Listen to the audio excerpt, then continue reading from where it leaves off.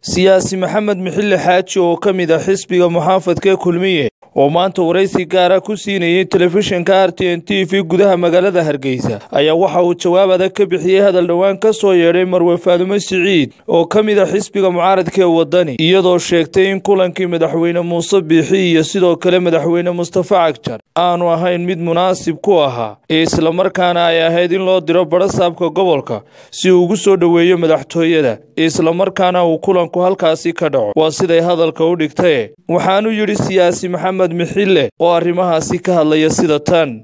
Soomaalidu waxay tidhaahdaa habar fadhida legdini wax uga fudud.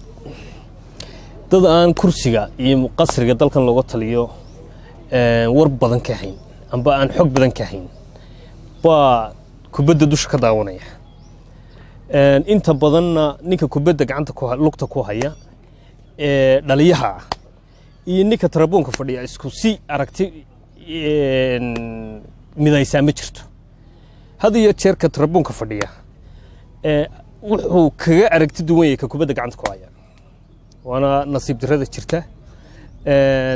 Xukuumadda maanta uu madaxweynaha jamhuuriyaddu hogaaminayo mudane muuse biixi cabdi waa mid lagu hadlayn karo inay hogaaminta dalkan iyo ayaka talinta dalkan lagu hadleeyo taana waxa u sababa codka uu ku guulaystay maanta aad ka war haysaan asxaabta mucaaridka kuga guulaystay dadkuna taasay go'aamiyeen.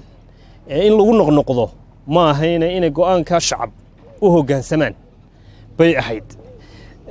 Aragtida odhanaysa badhasaab bay ahayd in loo diro. Adeer gacliya maaha dadka kililka jooga amba dowladnimada kililka shanaad iyo dowladda etoobiya